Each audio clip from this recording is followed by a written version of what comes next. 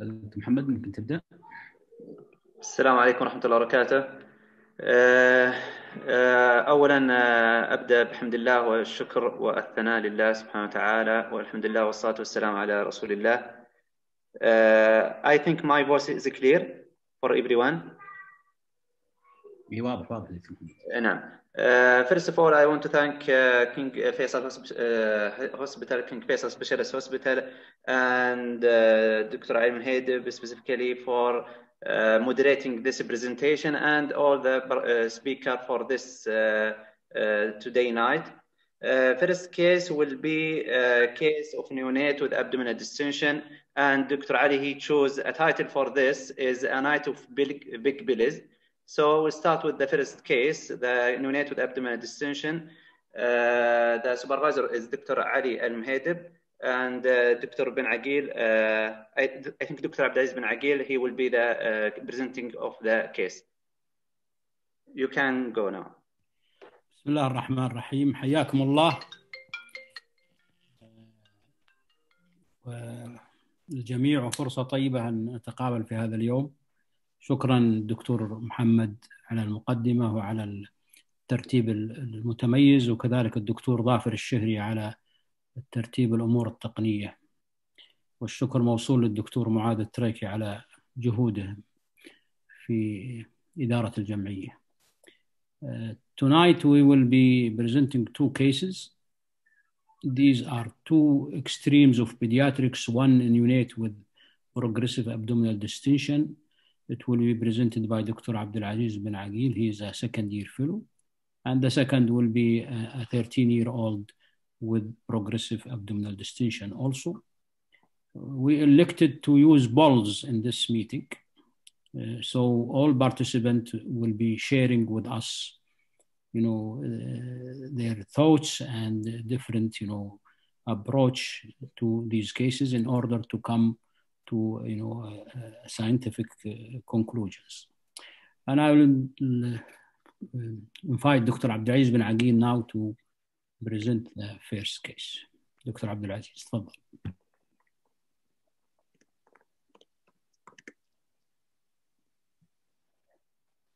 ثانك يو دكتور علي السلايدز واضحه اي واضحه واضحه دكتور السلام عليكم جميعا uh, today, inshallah, I will be presenting uh, an interesting topic abdominal distension, uh, a challenging and, and an interesting case.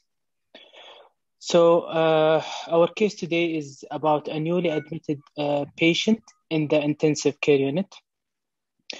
The patient is a three weeks old baby girl. Gestational age is 36 weeks. Product of cesarean section. Uh, her, weight, her birth weight was uh, 3.8 kg. The antenatal history is significant for severe polyhydramnios that required amniotic fluid reduction. And the fluid was sent for chromosomal analysis, which came back uh, normal.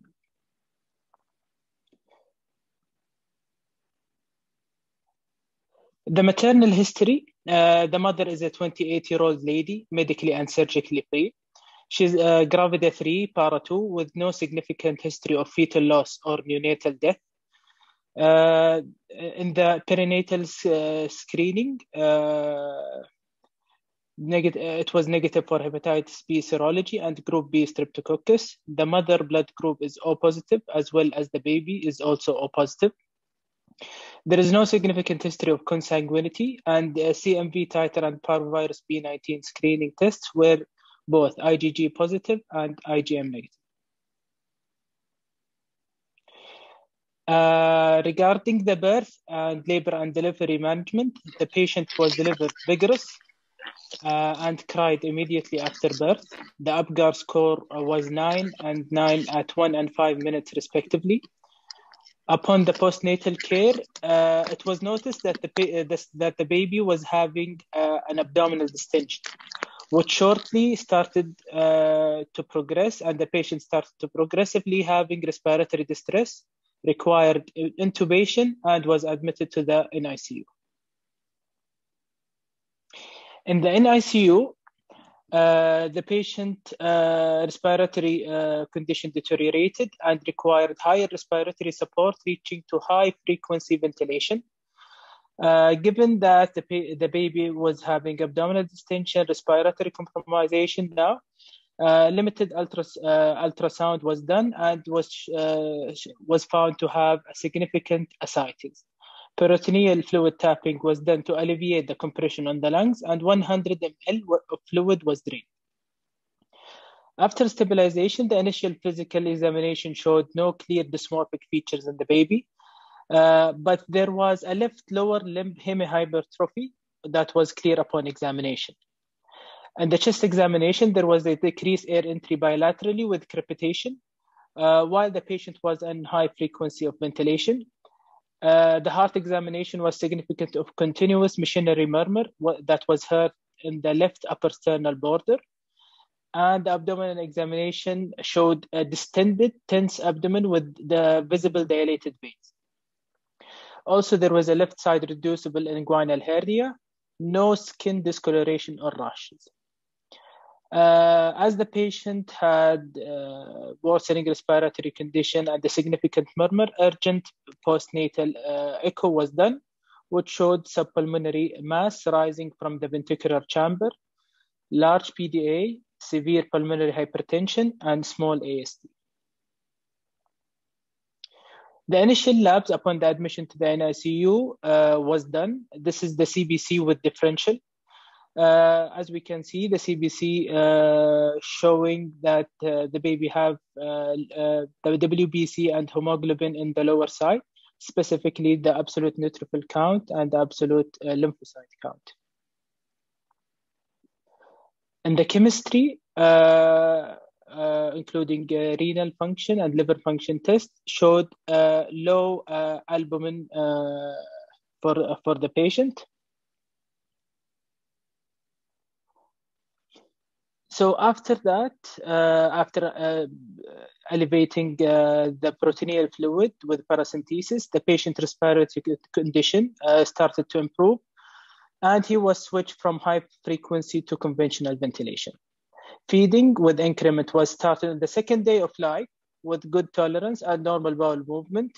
And the ascitic fluid that was drained uh, upon admission was sent for analysis, and this is the result of the analysis. Uh, as you can see uh, here, uh, we will have now uh, our first poll question. Given the result of the fluid analysis, what will be your next action? Would you calculate the SAG and start the protein and start the patient on diuretics or send the fluid for culture and start uh, broad spectrum antibiotics or consult pediatric surgery?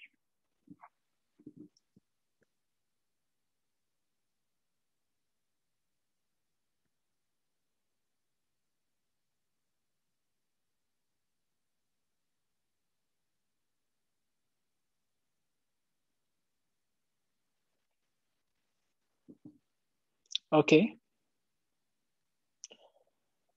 As we can see that 63% uh, would like to calculate the SAG and start the patient on diuretic. 33% uh, uh, of the patient uh, of the audience elected to send the fluid for culture and start on broad spectrum antibiotic, and 4% would like to consult pediatric surgery.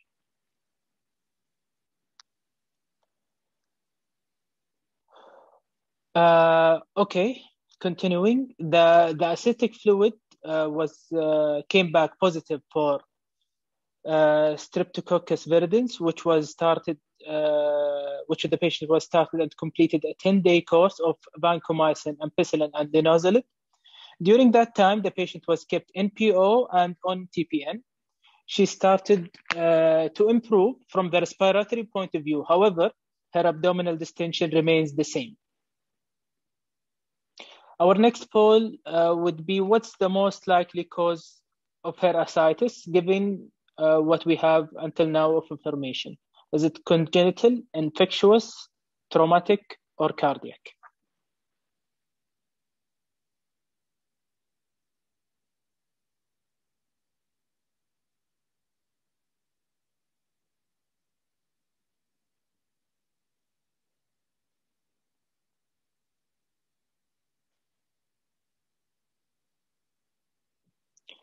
Okay. Uh, the majority are uh, saying that it is 67% actually is going with congenital and uh, a good percentage, 21% is going with infectious. 13% also considering cardiac as a cause for this ascites. To elaborate more on the answer of the question, uh, we're going to have a little talk about uh, neonatal ascites. So the term uh, ascites derives from a Greek word uh, which is ascites, which means bag-like. And as, as we know, ascites is, is the abnormal buildup of fluid in the abdominal cavity. And chylous ascites refer to the accumulation of lipid-rich lymph in the peritoneal cavity as uh, secondary to uh, disruption of the, of the lymphatic system, either due to traumatic injury, obstruction, or any other uh, uh, causes. Going back to the physiology, uh, as we know, the lymph is composed from protein, lymphocyte, immunoglobulins, and lipids in the form of chylomicrons.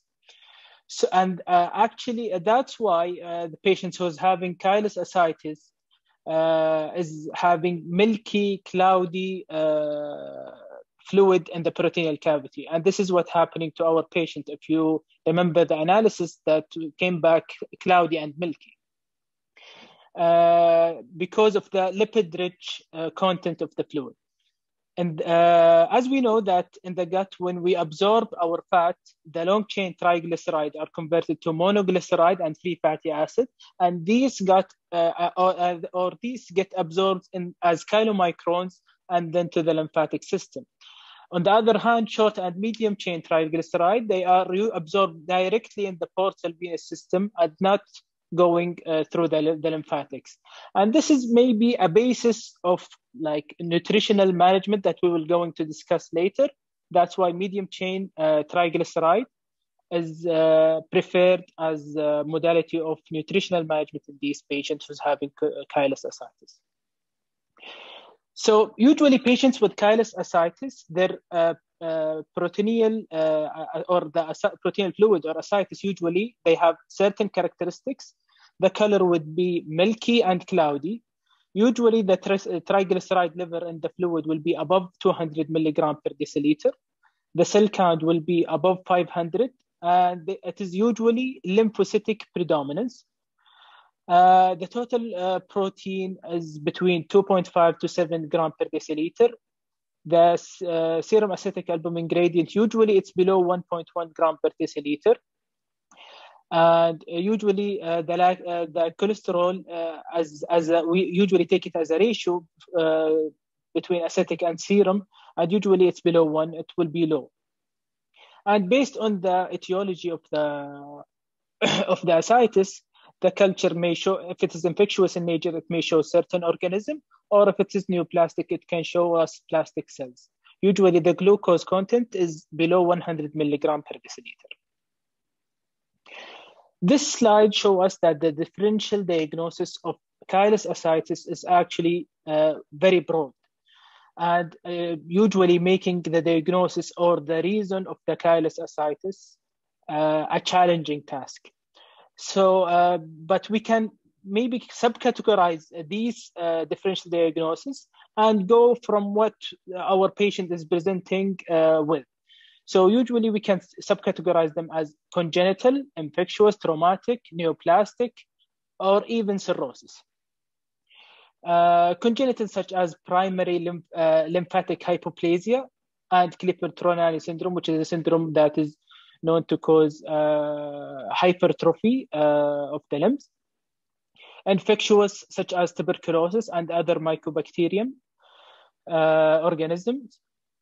traumatic, actually, it's divided to iatrogenic or even non-surgical surgical if the patient is going for any uh, abdominal surgical uh, repair or even non-abdominal surgical repair sometimes there could be an iatrogenic injury to the lymphatic vessel causing some leakage or even obstruction.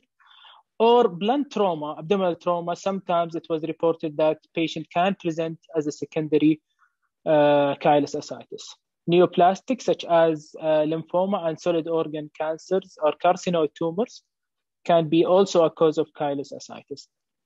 Actually, uh, the first case of ascites was infectious in origin back in 1800s when uh, a pediatric case, uh, 11-year-old child was having chylous ascites and it was secondary to, to tuberculosis. So as we see, the, the differential diagnosis uh, is very broad and it's very challenging. And a, a, a, good diagnostic approach should be first by suspecting the diagnosis. We should always keep in the ba- in back of our mind chylous ascites in patients who, who's presenting with abdominal distension, fluid in the pro- uh, peritoneal cavity. Chylous ascites is always a, a, possibility. And if we suspect it, we should confirm it by the presence of chyle in the peritoneal cavity by the char- characteristics findings uh, that we discussed in regards of the serum albumin uh, ascitic ratio gradient, uh, the lymphocytic predominance, the cultures, and after we confirm the presence of chylous ascites, determining, determining the underlying abnormality is the biggest challenge now. And we can tailor our investigation to finally reach our diagnosis based on the symptoms, uh, age of onset, risk factors that the patient is, is presenting with. So uh, after this uh, like brief review on ascites, let's go back uh, to our patients. the patient underwent routine ultrasound for preterm neonates, and the ultrasound was significant uh, of multiple tiny subcentimetric uh, bilateral subependymal nodules. And to elaborate more, uh, MRI brain was done, and as you can see in the picture, uh, we can find bilateral hyperintensity uh, multiple subependymal nodule the most significant one or the most prominent one are uh, bilateral to the foramen Monro. And these findings usually are seen in patients with tuberous sclerosis patient. So uh, now, just as a recap, before going any further, we have we have we have a patient who's who, who is a neonate presenting with uh, hemihypertrophy uh, chylous ascites, respiratory uh, abdominal distension requiring uh, respiratory uh, support, and also uh, echo was showing a picture of uh, ventricular mass, and um, an MRI of the brain showing finding of, of tuberous sclerosis. So because of all these findings and the hemihypertrophy, and our as we discussed in the back in our differential diagnosis that uh, um, any uh, congenital or lymphatic uh, congenital lymphatic malformation can be a possibility. So an intranodal lymphangiogram was done, and it is usually done by injecting a contrast to the lymphatic vessel bilaterally, as, as we can see in this picture, that the contrast in the left uh, limb uh, is not uh, draining through the uh, left iliac lymphatic vessel, and it is actually refluxing uh, to to the lower limbs and in the abdomen. Uh, however, the right iliac lymphatic vessels are both intact with normal contrast pattern. So this uh, contrast study suggested that this patient is actually having generalized lymphatic anomaly as a diagnosis, which is adding another manifestation to, to our uh, patient. So is there a relation between tuberous sclerosis and all of these findings, uh, chylous ascites, lymphatic malformation, uh, such uh, in a way that this is uh, our neonate patient is presenting with? So a little uh, brief uh, review about tuberous sclerosis. Just a reminder, it, is an autosomal dominant neurocutaneous disease with variable expressivity uh, that causes benign tumors that grows in the brain and other, other, other vital organs such as kidneys, heart, eyes, lungs, liver, and skin. Usually it's caused by mutation to either uh, tuberous sclerosis complex gene 1 or tuberous sclerosis complex gene 2. However, patients usually have de novo mutation and usually it accounts approximately to 80% of tuberous sclerosis uh, cases. Usually, it is more common with tuberous sclerosis mutation in type in gene uh, type two more than uh, type one. And this is the uh, a possible situation our patient, and uh, as the both uh, parents are healthy, and they are not consanguineous. So de novo mutation is very high uh, in, in, in tuberous sclerosis. Uh, okay, what's the relation between uh, tuberous sclerosis and or from the GI? Does so does tuberous sclerosis have GI manifestation? The answer is yes. Uh, one of the manifestations of tuberous sclerosis and actually one of the diagnostic criteria is lymphangiomyelo myomatosis. Uh, what is this? Uh, it is uh, uh actually uh, a multifocal lymphatic malformation with systemic distribution. It is seen more commonly with the type 2 mutation rather than type 1. However, it's usually present later in life or later in the course of the disease, actually in the late adolescent or through adulthood. And usually these uh, lymphangioleiomyomas usually uh, the complication of it, patient will have chylothorax or chylous ascites. And our patient presented uh, with chylous ascites. And how does the genetic uh, or the tuberous sclerosis diagnose? As we mentioned, there is a clinical criteria. Uh, there is ma- uh, major and clinical, minor clinical features, and we need two major uh, and one minor to make a definitive diagnosis of uh, tuberous sclerosis. Now, in the genetic era, a gene study can be helpful. However, there is 10 to 25% of tuberous sclerosis. Still, they have no mutation detected, but they are diagnosed through the clinical criteria. In our patient, we have two major criteria, which is which makes uh, a, a, definitive diagnosis uh, based on this criteria. We have a subependymal nodules, which were seen in the brain MRI, and the lymphangioleiomyomatosis that was uh, manifested as uh, uh, left hemihypertrophy and was seen through the intranodal lymphangiogram, uh, which complicated the chylous ascites. The next question, why, uh, as we mentioned the previous slide, that this is usually appear late in adolescent and late uh, through adulthood why is this patient coming just days uh, or on the first day actually he's presenting we said the, the literature there is a similar case was reported back in 2015 and uh, the case was to uh, 20, uh, a 23 year old uh, woman gravida 1 preterm uh, 31 weeker. The baby was having abnormal ascites and was confirmed through ultrasound required multiple paracentesis. The neonatal echo showed multiple cardiac masses, as as uh, which is very similar until now to our patients. In all this, our patients also a preterm, uh, having significant ascites and having a cardiac mass. And uh, all, however, this patient was having hypopigmented uh, macules in the skin, uh, in contrast to our patient who, who did not have any skin manifestations. Okay, management. After uh, explaining uh, the current situation of our patient, how would you like to manage this patient? Would you continue the patient uh, NPO and TPN, or would you rather to start the patient on octreotide infusion, or start MCT oil, or consult surgery to correct the lymphatic malformation?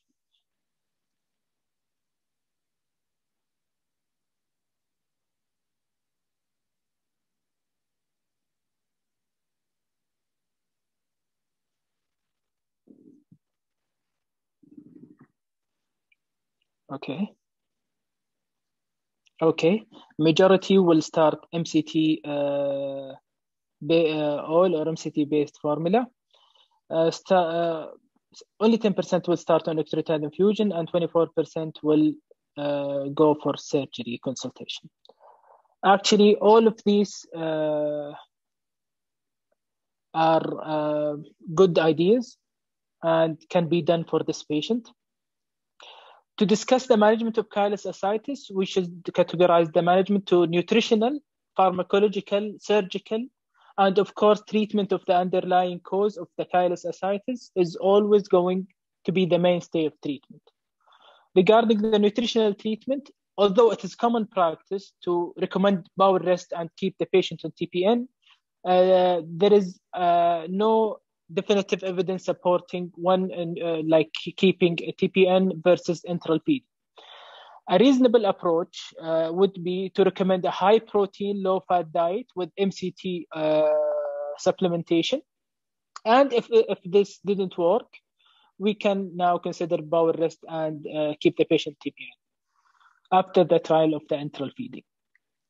Regarding the pharmacological treatment, uh, case report have suggested that both somatostatin and octreotide, either alone or in combination with TPN, are effective in the management of chylous ascites.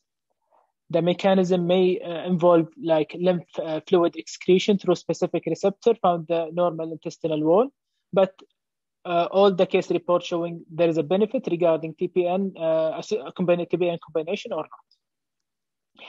Surgical abdominal paracentesis, usually it is done uh, who, to patients who are either uh, symptomatic that have uh, respiratory uh, compromisation or not responding to treatment. abnormal abdominal paracentesis may be used and may be repeated as the patient need. What about transjugular intrahepatic portosystemic shunt or TIPS? The use uh, of TIPS has been has been successfully treated chylous ascites. Uh, however, it is mostly in adult patients or patients uh, who who is having chylous ascites secondary to cirrhosis, or patients who are resistant to medical therapy, uh, or patients requiring multiple abdominal paracentesis. Uh, however, it is not very uh, functional uh, in our patient because because of the it's he's a neonate and technically it's difficult to do it in such a neonate with this uh, size. Porto uh, peritoneovenous shunt. Uh, in the past, uh, peritoneovenous shunt was considered an option for P, uh, for patients who are refractory to medical uh, and who are poor candidates for surgery. However, because of this shunt had high, high rate of serious complications such as sepsis, sepsis, DIC, small bowel obstruction, and even risk of air embolism, their use has been declined over the years. Okay. Aziz, uh, one minute Sam. for you to conclude. Hey, I'm almost done. So back to our patient, the patient was kept NPO and on TPN, and he was started on octreotide infusion. Abdominal drain was started as the patient ex was expected to have multiple paracentesis, and the patient after that abdominal distension improved and extubated to high flow nasal cannula. So this is uh, our next poll. What is the next step in management of this patient? Will we, will we continue NPO or TPN and give more time? Will we start beta blocker or start sirolimus. He is still having ascites improved, but still there.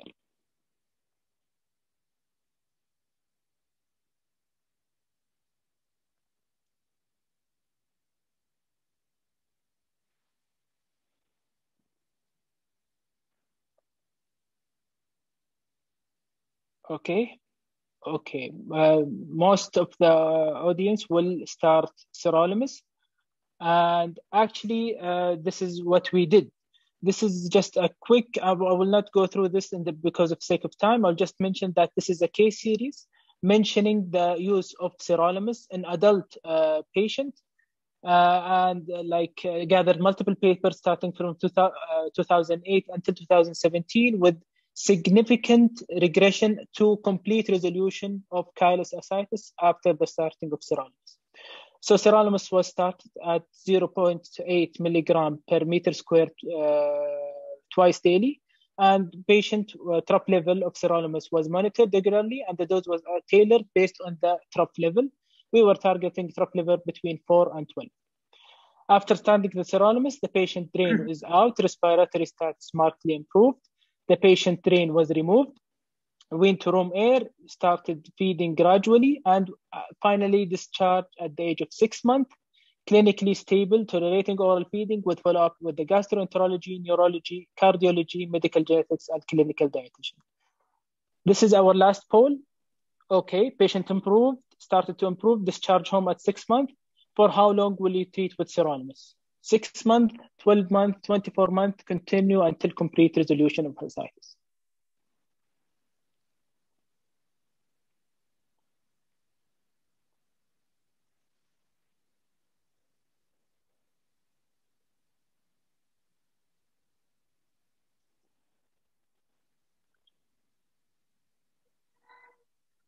Okay, the majority will continue until complete resolution of ascites. Actually, there is no clear uh, guidance regarding the duration of treatment. Majority they are treating one to two years, or uh, and some even more. That, but there is no clear guidelines or uh, consensus regarding the duration. Our last slide, the patient. I last... think time is done for this case. if you you wouldn't mind uh, to one slide only, one word. This is the last slide. Yeah, this is the last slide. Uh, so the patient last visit to our clinic, she is currently two years of age. She is still on sirolimus, uh, and her sirolimus uh, level is within therapeutic. She is gaining weight and height for her age, and with significant with significant improvement of her ascites, and even the albumin, as you can see, uh, with the WBC count hemoglobin, all improved after starting her on sirolimus. Thank you, and uh, sorry if I took more than uh, allowed time. Thank you so much. Thank you, Dr. Abdelaziz. Uh, for you, Dr. Ali, if you want uh, one minute to add anything, or you will you will receive one question, up to you. Then you to, you, to start the next uh, lecture.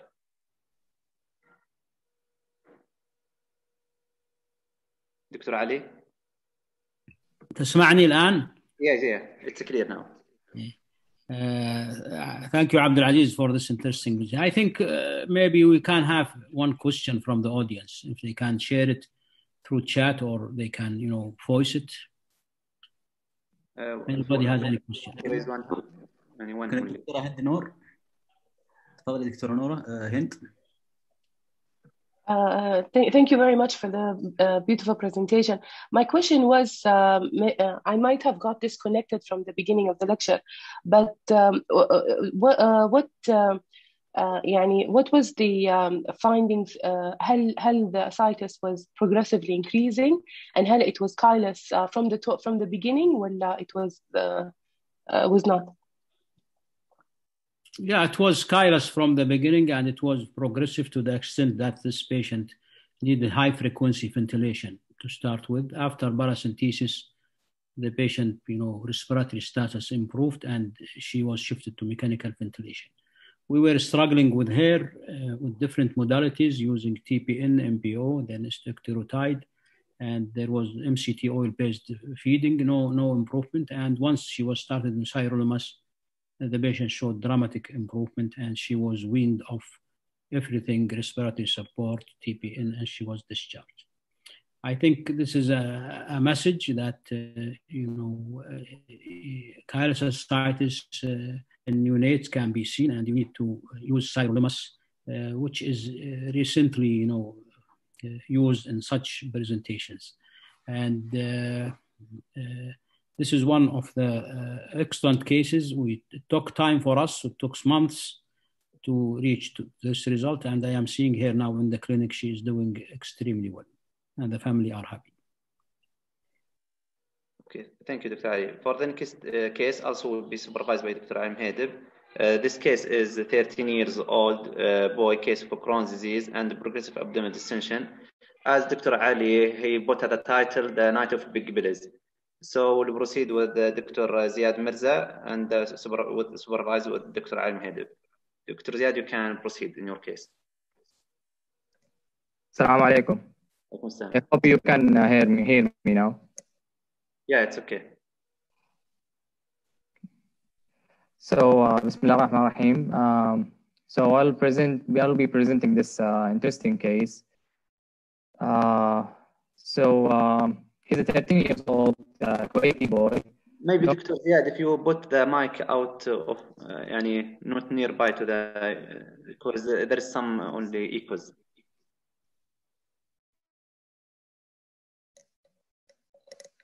Um, is it okay now? Yeah, it's better now. Okay, so um, we have a 13 years old uh, Kuwaiti boy, known case of uh, Crohn's disease based on endoscopic biopsy, and um, he was diagnosed at the age of uh, 10 years.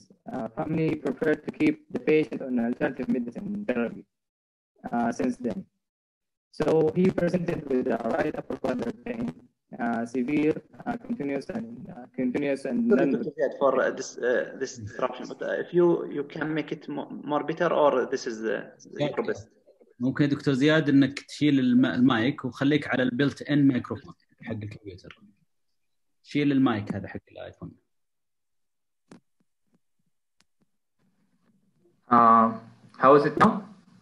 Yeah, yeah, excellent. Okay, perfect. Uh, so uh, our patient presented with a right upper quadrant pain, which was severe, continuous, and non-radiating, uh, associated with progressive abdominal distin- uh, distension for a few weeks.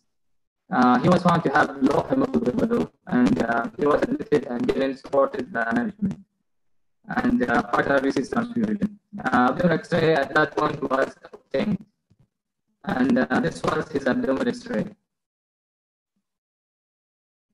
So to make this interactive, can you put the first poll, please?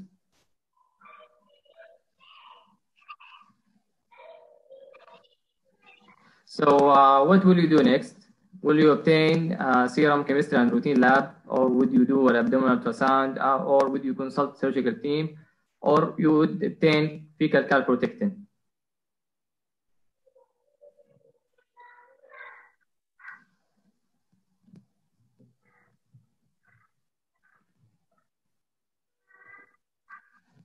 Okay, excellent. So 50% and the majority said would would proceed with the chemistry and routine labs. And uh, about 36% said would do abdominal ultrasound. Again, there's nothing, um, there's no wrong and true and regarding this uh, scenario, but um, uh, yeah, we'd proceed with the lab work. So this is the initial lab works um, upon presentation. Uh, his hemoglobin was low and um, his chemistry was unremarkable. His platelet was okay. Uh, he had mild elevation of uh, his uh, transaminases and uh, his albumin was 33. INR was 1.3. So uh, abdominal ultrasound was done also, which showed mild splenomegaly with moderate ascites. Uh, patient continued on su- supportive therapy with no much improvement. So uh, this is the second poll. If you can uh, see it, what will you do next? Would you send uh, fecal for uh, uh, alpha-1 antitrypsin? Would you do CT to evaluate pancreas, or would you do albumin scan, or would you do paracentesis?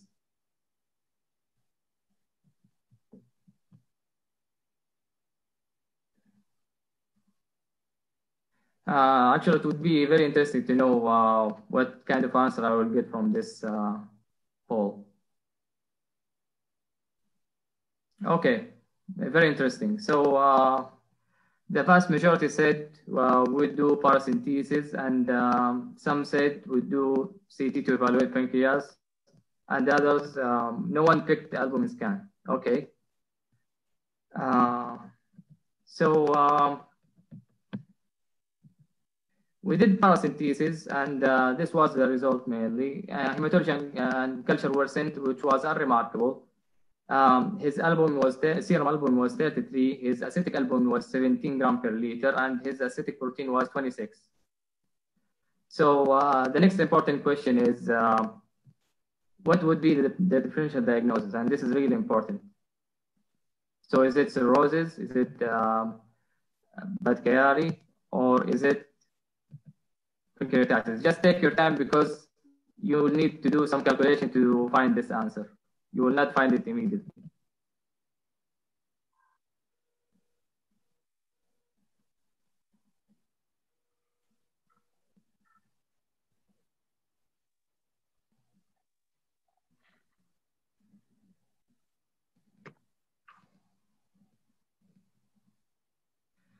Okay, so uh, we had the results. Uh,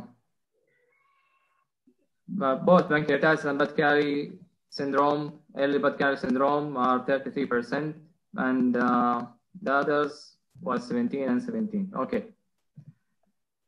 So uh, just to explain which, uh, this is very important actually. Uh, we have to calculate the sag.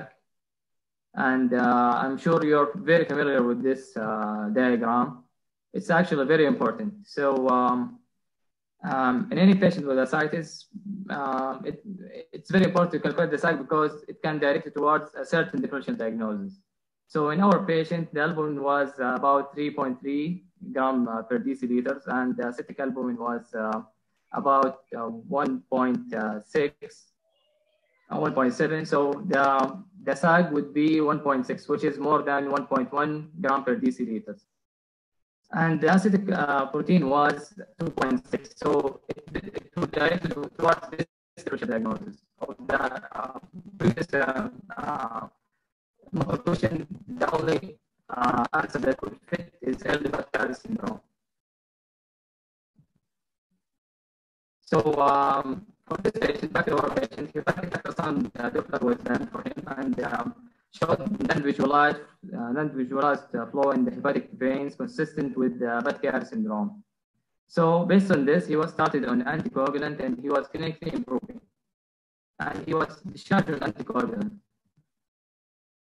Um, just uh, interesting question. How would you continue treating this child? If you can, uh, if you can put this poll, please. Would you continue on anticoagulant? Would you try to treat the underlying cause, which is Crohn's disease?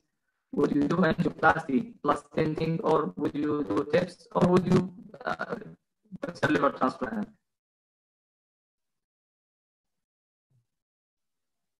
Again, there's nothing right or wrong, but uh, it's really interesting to know what would you think.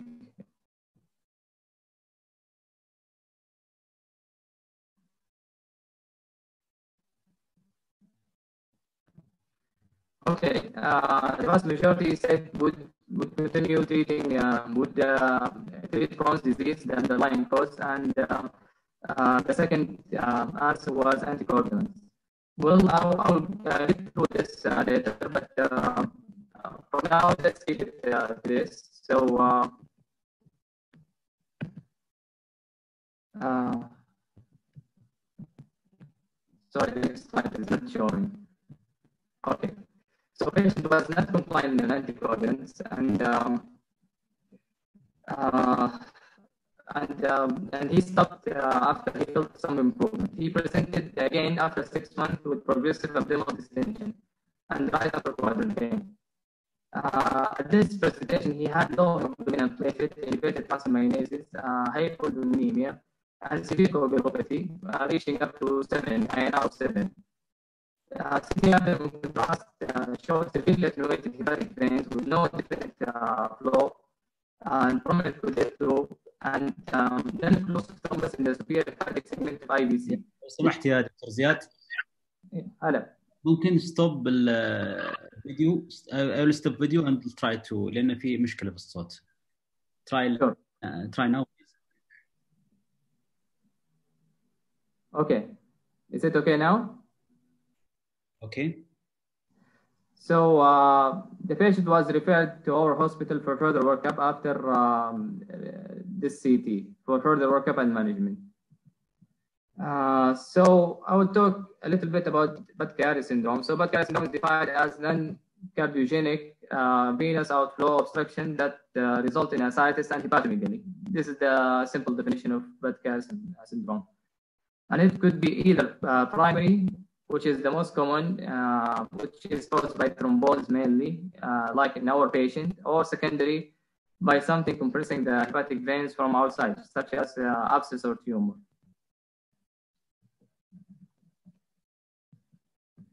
Uh, so Budd-Chiari syndrome can be classified into either acute fulminant uh, Budd-Chiari syndrome, which is characterized by acute liver injury uh, with elevated transaminases, jaundice, coagulopathy, and hepatic encephalopathy, and usually it presents within eight weeks. Or acute non-fulminant uh, Budd-Chiari syndrome, um, and here it is, uh, and here from its name, it's usually um, the symptoms usually develops within a few weeks without uh, any evidence of acute uh, liver failure. And uh, the example uh, for that is the initial presentation of, in our patient. And or sub, uh, subacute uh, Budd-Chiari syndrome, which uh, symptoms start gradually and can take up to uh, three months usually. Um, what is interesting in this um, here that usually in this type the ascites um, and the hepatic necrosis is minimal because the collaterals um, had enough time to develop. So um, this would decompress, decompress the liver. The. Uh, the last type is the chronic uh, syndrome, and it usually presents with cirrhotic complication, uh, which our patient presented at the end of uh, his presentation. So Budd-Chiari has um, the classical triad, uh, which is ascites, abdominal pain, and hepatomegaly. And um, as we mentioned earlier, sometimes they can present with a fulminant acute um, liver failure picture. Uh, the diagnosis is mainly by uh, radiological investigation or radiological diagnosis, and it can be easily picked by um, doing only hepatic uh, ultrasound, Doppler ultrasonography. Um, also, MRI and CT with contrast can, can be done to reach the diagnosis. And of course, uh, searching um, the underlying cause uh, to do thrombophilia workup. Uh, that, so what is the initial treatment? We should start anticoagulants immediately and uh, in those types of patients would require to continue anticoagulants for really long time. Um, secondly, treat the underlying cause if possible. And, um, and third, treat the complication if there is any complications. So the principle of uh, treating uh, this patient is restoring, one of them is restoring patency. And this can be done either by uh, thrombolysis or angioplasty plus or minus stenting. Uh, the other important modality of treatment is decompressing the liver. And, um, and this can be done through, uh, through shunting, um, let it be uh, surgical shunting or what is now known as TIPS. Of course, TIPS has, has now replaced the surgical shunt uh, because it's considered less invasive than um, the surgical shunts. Um, and also higher success rates. Uh, so uh, yeah, so this is again uh, this is a good uh, summary uh, regarding the management of uh, Budd-Chiari syndrome. let's agree that all patients with Budd-Chiari syndrome will need a really long time anticoagulants. All patients, regardless of the presentation, will need. this is the first line of treatment, anticoagulants. And if you start anticoagulants, which and uh, with follow-up, you noticed in that the patient is developing any signs of portal hypertension. Um, so hepatic uh, vein interventions uh, such as angioplasty with stenting, can be considered.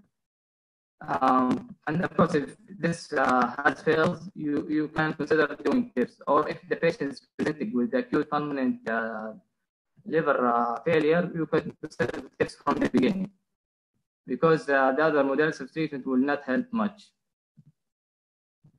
Um, Budd-Chiari syndrome is in Crohn's disease is really, really rare. So I, by reviewing the literature, I only found um, uh, one recent adult uh, case report who reported at 27 years old uh, Crohn's disease, not on any treatment, who developed uh, Budd-Chiari syndrome. And uh, this uh, young man was started on steroid and heparin infusion, and he was uh, uh discharged uh, sorry, long-term heparin. Uh, he was discharged long-term heparin and uh, also uh, was started on anti-TNF. Uh, after that, with follow-ups, he was found to have patent hepatic veins um, during his follow-ups, and his symptoms has improved a lot. So this is the only literature review regarding Crohn's disease and uh, Budd-Chiari syndrome. Okay, so uh, by doing intensive literature review, I found um, a pediatric uh, in pediatric population, I, I didn't find any specific data about Crohn's disease and uh, syndrome, but I found this interesting study which compared the different modalities of treatment, uh, which was really interesting. So they took uh, 32 patients and uh, they started half of them on, um, on medical management um, the failure rate, rate in medical management was about 66%. the medical management consists of uh, only uh, treating with anticoagulants. So this alone was really high, about 66%, and required um, later on interventional uh, radiology to intervene. Um, angioplasty alone um, had also high high, failure rate. About uh, three three out of seven had failed uh, angioplasty alone, and had re, re, re stenosis within within six months. Um, better outcome was achieved if uh, stent was uh, placed. Uh, among those 32 patients, 14 uh, patients underwent TIPS, and uh, the success rate was about 65%. So um, regarding this success rate, they monitor the success of uh, TIPS is by resolution of symptoms, examining the labs, and by repeating ultrasound every three to six months uh, to monitor the patency of uh, the shunt. And by using um, yearly EGD to assess the presence of varices. Um, unfortunately, in their study, they didn't mention anything about hepatic encephalopathy after TIPS, which is considered a very common uh, side effect of uh, TIPS.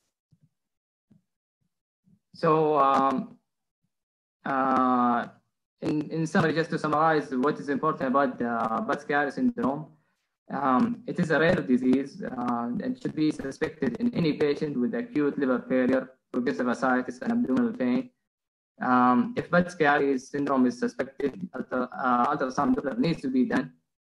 And uh, both anticoagulants and angioplasty have high failure rate if used alone. Uh, Budd-Chiari syndrome should be monitored closely with early referral to a transplant center, um, and this is highly recommended. Um, just uh, before concluding, in our patient, uh, because he presented actually with um, uh, decompensating uh, liver disease, and uh, he required a lot of. Um, he was really in refractory ascites, so eventually and severe coagulopathy. So eventually, he received a liver transplant recently. Uh, the explanted uh, liver showed uh, congestion, hemorrhagic congestion in zone two and three, which is consistent with Budd-Chiari syndrome. Um, after the transplant, he's doing fine from the liver point of view. So yeah, that's it from my side. Thank you. thank you, Dr. Ziad. And uh, thank you uh, all of the speakers, Dr. Ziad and. We have uh, maybe five or more, uh, or even six, uh, seven minutes uh, for questions. Raise your hand, raise your hands. Sure, on the um, the screen. not it's virtual, huh? And Dr. Ali, if you have any comments and you can receive the questions or the speakers if they want to answer the questions. Thank you very much, Ziad. I know time was short to prepare the presentation. However, this is a very complicated case. And uh, just to uh, mention to uh, our colleagues that this patient, when he presented to us, he was referred from Kuwait for possible uh, TIPS, uh, he has coagulopathy, his INR between 2.5 and 3. And even the hematologist, they did not want to start anticoagulant for him. And that indicated the patient is most likely having uh, advanced liver disease. And our uh, intervention radiologist preferred not to go for TIPS since it will be something temporary and he definitely will need to go for tra transplantation. Fortunately, he, he went for transplantation. The father was the donor, although he has some post-transplant complication, but uh, you know, uh, thrombosis is a well-known complication of inflammatory bowel disease. It is rare, in, in especially in children. Uh, however, you can see it. This patient also has sagittal sinus thrombosis uh, also, so he's not having thrombosis only in the in the in the hepatic veins, but he has thrombosis in the sagittal veins. And post transplant, now he started on heparin with follow up with hematology. Uh, uh, we elected to present these two cases with ascites since ascites is seldom discussed in, in such meetings with different aspect. One patient, neonate, who has ascites, chylous ascites, and he has you know, tuberous sclerosis associated with uh, lymphangioleiomyomatosis, and he was successfully treated with sirolimus, which is a new modality of therapy in such patients. And this 13 years old who was referred from Kuwait, who had chronic Budd-Chiari syndrome, who ended with uh, liver transplantation. I think we need to have uh, some questions. Um, yeah, please, please, for all participants, they can raise hands. And... دكتور نوح العلي تفضل.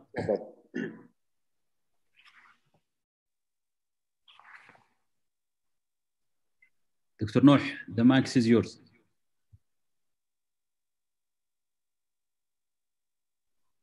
If anybody had question for the first or the second case.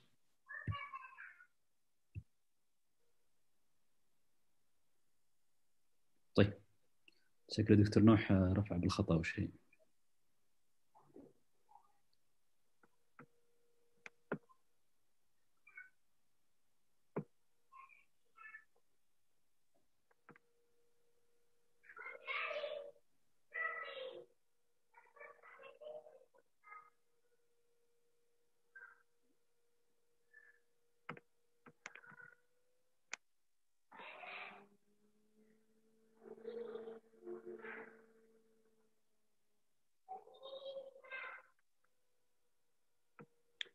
There is two participants raise hand, Dr. Go ahead. Hind and Dr. Noor. Assalamu alaikum. Uh, thank you very much uh, for the very nice uh, presentations uh, and well uh, well presented as well. I just had one question about the second case where uh, he was uh, diagnosed with IBD.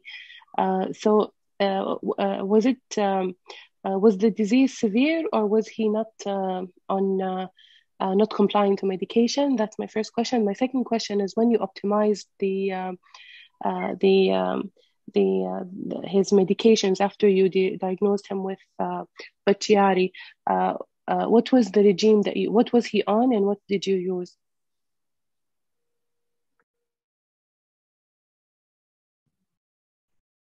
So to answer the first question, um, uh, actually he was diagnosed in 2017 and uh, unfortunately the family was not uh, compliant. So they thought uh, maybe honey and uh, al-Barka would help and he didn't continue his medications. So he even he didn't even um, revisited again the clinic in Kuwait.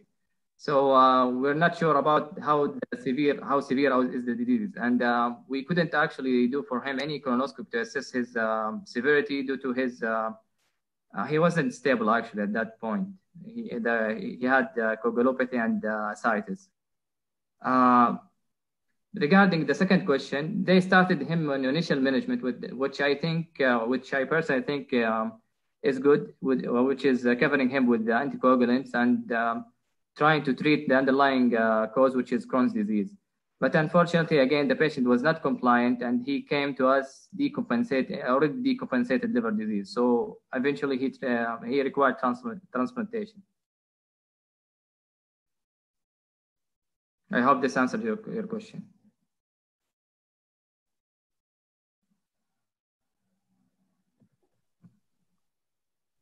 So he, he has he has a refractory ascites to some uh, extent that he was ventilated in the ICU. We didn't go through the complicated course for the sake of time. ولكن he, he did not respond to whatever measures was given in Kuwait and even when he presented to, to our hospital. Any uh, one more question maybe or two? Assalamu alaikum. عليكم السلام ورحمه الله yeah, uh, sh- thank you for these interesting cases, Dr. Ali.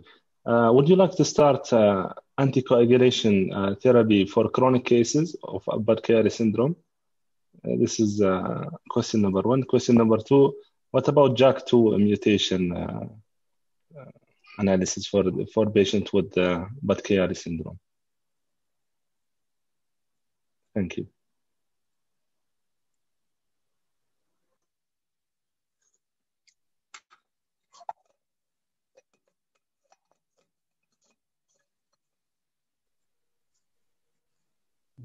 Dr. Ziad, can you want to answer or you can answer?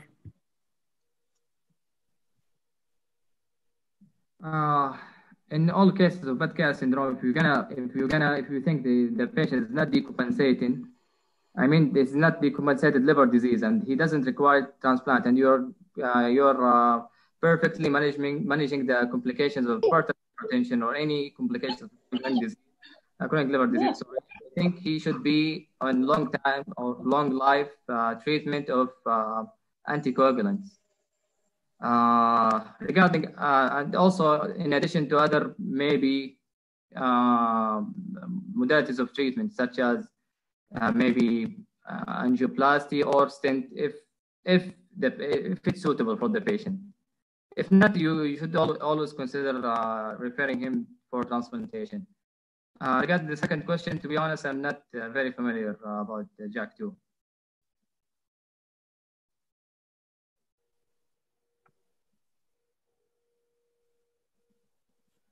Dr. Ali, for the second question for JAK2, if you if you want, you'd like to answer. It is it is well known that these patients uh, uh, with inflammatory bowel disease they are prone to develop uh, thrombotic phenomena, and uh, we did not uh, look for you know any other you know possibilities like JAK2 or others. Even we usually do a lot of genetic testing, but we did not do anything for this child because we know this is uh, very well known association with inflammatory bowel disease.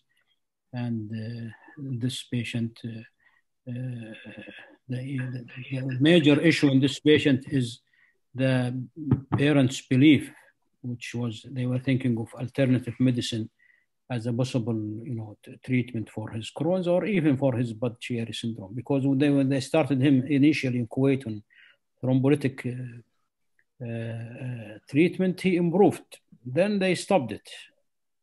And when he came to us, he was in a very bad situation. He has a huge ascites. And when you drain him, then he goes into hypovolemia. He has impaired uh, renal function. So you need to have a, a, very, you know, narrow balance in order to keep the patient in the in the in the right track. So we had a very difficult time with, with these both two patients. Uh, the last one is more difficult because you know we reach a stage where he has, as Ziad mentioned, advanced liver disease. But this is to you know uh, uh, you know alert uh, you know the attendee that you know we see thrombotic embolism with this patient and don't take it light. You should take it very serious. Maybe, Dr. if you allow me one question for Dr. Aziz. Uh, for the genetic diagnosis for tuberous sclerosis, the, the first case, was it confirmed by genetic diagnosis or it's one of the cases that's negative for gene? Uh, for the first case, uh, actually, uh, genetic diagnosis was done. However, we saw we saw it in the clinic after discharge. As you know, genetic might take some time and it came it came back actually positive for JAK uh, for uh, I'm sorry tuberous sclerosis complex type two mutation, which is the most uh, associated with uh, and lymphatic malformation. So it came back positive, confirming the, the, the clinical criteria diagnosis. Uh, at the end, I would like to thank uh, Dr. Hadi for supervising this very nice presentations uh, many in the chat they are thanking for the, uh, the presentation of King Faisal Specialist, Specialist Hospital. Uh, and I would like to thank the participants for their uh, interaction and for uh, their questions and active participation. Dr. Dhafar for sure, Dr. Muad for the, as the head of the uh, SASPGHAN. and because of the run of the time, and now it's almost 9:05 p.m. Uh, uh, I, uh, I would conclude and from Dr. Dhafar, if you would like to add anything or just to end this very nice and very helpful cases. Uh, thank you so much for the uh, organizations and thank you for uh, the presenting hospital King Faisal and thank you all. Nothing to add. Thank you so much. Thank you.